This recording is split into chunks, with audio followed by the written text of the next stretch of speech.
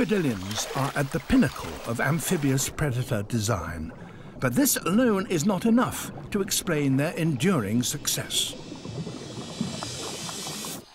Something else has helped crocodilians flourish in the largely poor and unpredictable habitats in which they live.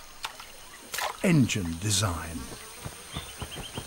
South America's freshwater rivers and lakes are home to many kinds of animal.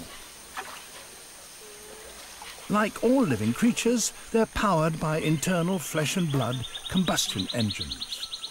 But while some engines are slow, others have a fast idling speed and are tuned for high performance.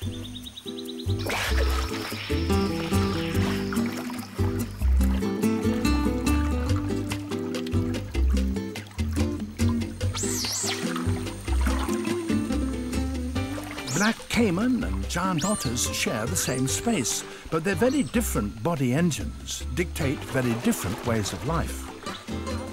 The basic mechanics, however, are the same. Oxygen breathed in with air is carried in the blood to all the body's cells.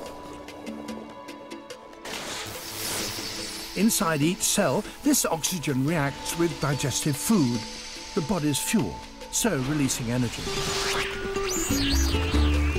Some energy is spent on growing and getting around. Some is stored inside muscles for future use, and some is converted into heat.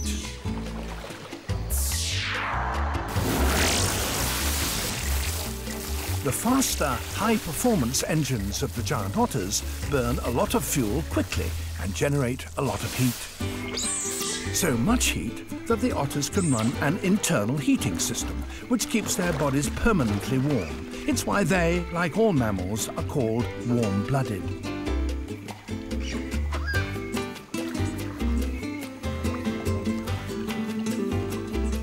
The Caiman's engines work in a similar way, but with one vital difference. Their slow idling engines just don't generate as much heat.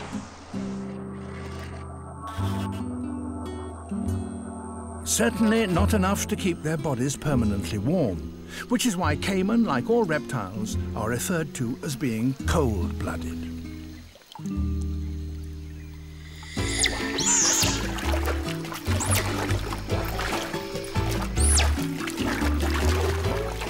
One of the benefits of a high-performance engine, a high metabolism, is a constant warm body temperature.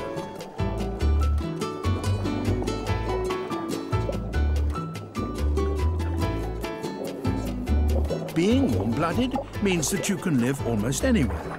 You can stay warm whatever the temperature outside. It's why mammals and birds are able to live anywhere in the world, even in the coldest places.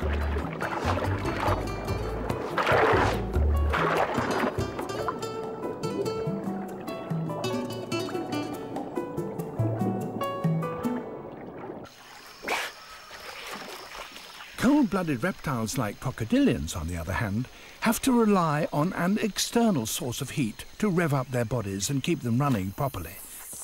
They're solar-powered.